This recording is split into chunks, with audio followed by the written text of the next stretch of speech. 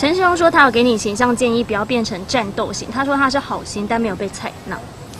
参选前说万华是破口，参选后说要疼惜万华。参选前喝红酒，参选后吃泡面，才是真正变了一个人吧？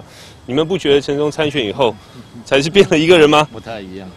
没有，我只是那是在很久我还没有参选的时候，我也是在一个参会有碰到蒋万安跟他其他团队的哈相关的市议员，然后那时候大家很多人都在好像觉得蒋万安在选举的时候不够积极，哈，所以很多人劝他要变成战斗形式。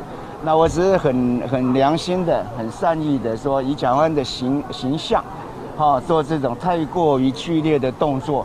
恐怕形象不相符，好像对于选举上面不见得是一件好事情。